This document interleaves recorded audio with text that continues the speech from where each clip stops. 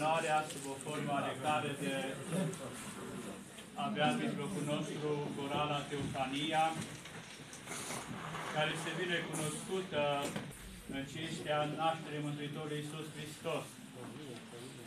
Colinde vine de la calendere, care înseamnă și calendar. Un bun început, pentru că Mântuitorul, dată cu nașterea sa, a făcut ca să înceapă era noastră, era creștină. De aceea, între colindă și calendar există o sinonimie.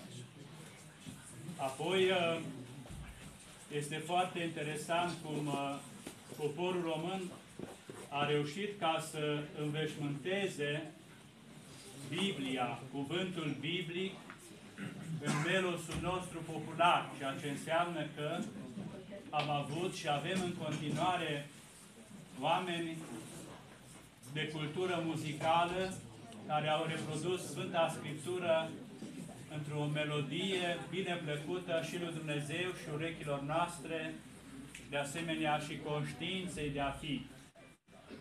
Păi ne punem întrebarea dacă, iată, Sfânta Treime a dăruit Cuvântul lui Dumnezeu, Logosul, care să vină pe pământ și să se întrupeze Cerul a dăruit steaua, păstorii a dăruit mielul de la turmă, magii au venit cu aur, smirnă și tămâie, iată, omenirea a dăruit Fecioara.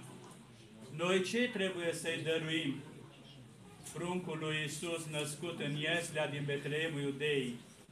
Poate puțină liniște, puțină răbdare, puțină ascultare, dar și împlinire a cuvântului lui Dumnezeu.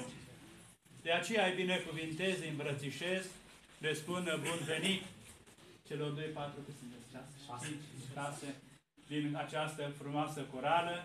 Îmi cer scuze că am stat cu spatele, dar am vrut să văd cine iese și cine mai rămâne. Vă rog să vă